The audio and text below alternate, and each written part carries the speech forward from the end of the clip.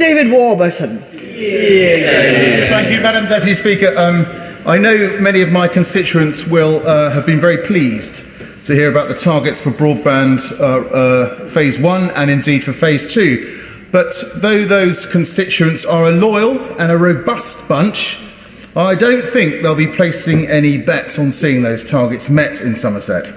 Uh, the people of Somerton and Frome are not only noble in reason, but also um, infinite in their many faculties. And their fingers are right now poised over innumerable mice, waiting to start an avalanche of innovative businesses and new ventures. But they can't, because, uh, depending on who you believe, my constituency rejoices in uh, being either the 10th or the 14th worst connected constituency in the country. And, um, and BT and connecting Devon and Somerset uh, have so far completely refused at the fence of phase two. So, the government's recognition of the importance of rural broadband, plus the possible consideration of the uh, universal service obligation, are both extremely welcome, uh, particularly alongside the planned uh, wider physical infrastructure investment into the southwest. But we've seen some extraordinary anomalies so far. In the planned upgrade of Wincanton, for example, uh, while much of the town will see improved connectivity, the business park, the economic heart of the town, uh, has been overlooked. So, Madam Deputy Speaker, this is one example of many and I have spoken to a number of businesses who feel they may even need to move their businesses outside Somerset in order to remain viable. And moving from Somerset is, of course, a dreadful prospect for anyone to contemplate. Yeah, yeah. This, this dismal digital disconnectivity doesn't only affect businesses, but it also contributes to the exodus of young people from Somerton and Frome.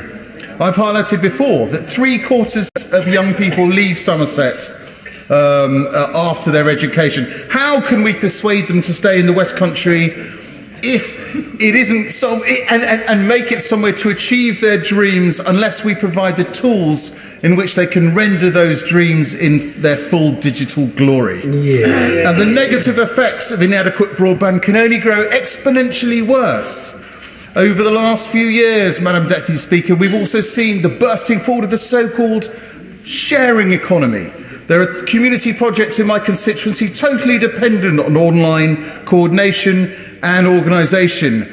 Uh, tremendous uh, organisations such as Frome's excellent and very famous Electric Car Club, which harness the natural generosity of spirits of Somerset. It's arguably sad, but true, nothing has greater potential to stimulate today's rural economy than rural broadband. And it would be dire for our local economy if the art entrepreneurial zeal remains stuck in the 1990s while our neighbours disappear into the 21st century horizon. Properly managed, a comprehensive broadband rollout can with one leap act literally as a fibrous ligament binding together businesses, charities, communities, and people, binding them not only to other parts of Britain, but also to each other and the rest of the world. So I very much welcome the the motion before the House this afternoon, a not spot summit would certainly be an invaluable step forward. And combined with the physical infrastructure investment that's being provided by the government, those fibrous ligaments can soon grow flesh. And bit by bit, they can become muscular tendons, perfectly placed to propel the rural economy into the future. Yeah, yeah, yeah.